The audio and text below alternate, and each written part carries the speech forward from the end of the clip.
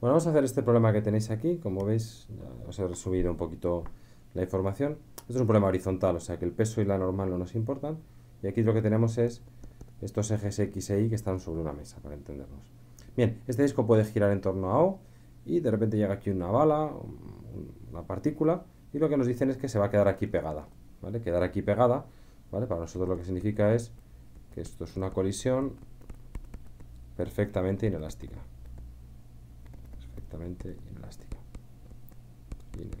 Y esto significa, entre otras cosas, que la energía cinética no se conserva en el choque.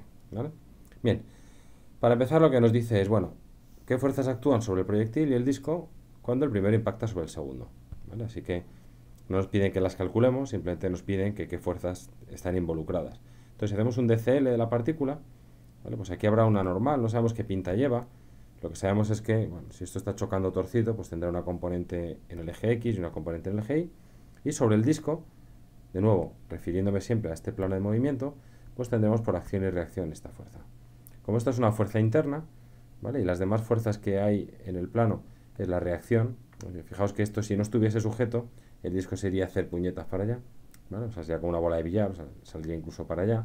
Así que necesitamos una reacción en el eje, tanto en el eje X como en el eje Y. Estas son fuerzas internas, porque aparecen en dos DCLs, estas son fuerzas externas. Pero si os fijáis, estas fuerzas externas actúan sobre el eje de giro y por tanto la suma de todos los torques externos, que en este caso es la suma del torque que hace la fuerza neta de reacción, es cero. Y esto significa, como estamos viendo en estos vídeos, que el momento angular se conserva.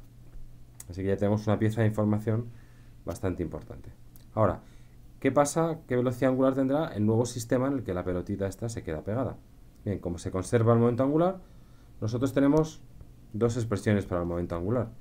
Para una partícula, esto simplemente es R por P. Y para un sólido rígido, esto es el momento de inercia respecto al eje de giro, en este caso, porque es eje fijo, multiplicado por la velocidad angular, que es precisamente lo que me piden.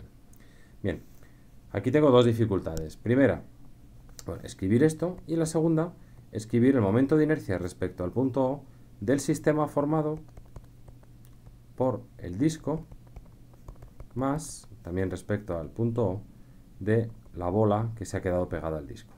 ¿Vale?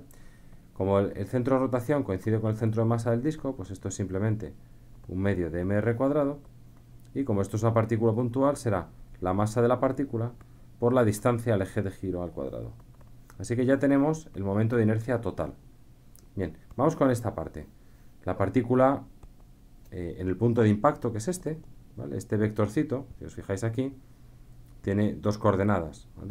Una que es eh, esta coordenada ahí, ¿vale? que es B, y otra que es esta proyección sobre X. De momento voy a definir este ángulo teta, por tanto este vector será simplemente menos R coseno de teta i, y la componente i, ya nos lo han dado como dato, es, perdón, menos, menos B por J. La cantidad de movimiento será masa por velocidad, en este caso como es horizontal, pues es masa de la partícula por V sub 0 por I. Así que ya podemos hacer el producto vectorial y tendremos R por P es igual a menos R coseno de teta I menos BJ vectorial MV sub 0I y vectorial I es 0, J vectorial I, en esta secuencia y JK va al revés, así que me da menos K, ¿vale? Con este signo menos un más. Así que tendremos que R por P, que es el momento angular antes de la colisión es simplemente mv sub 0 b en la dirección k. La dirección k significa en sentido antihorario. Vale, pues ya tenemos toda la información. Momento angular antes igual a momento angular después.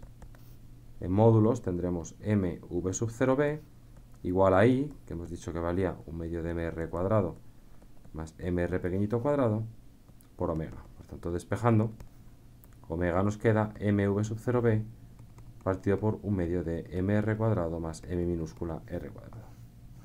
Y ya está. Fin del problema.